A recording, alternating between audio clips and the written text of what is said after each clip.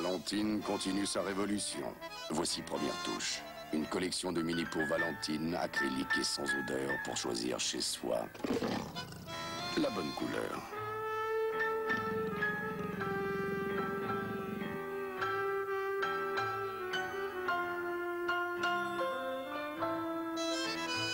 Messieurs, ce sera Rose Églantine.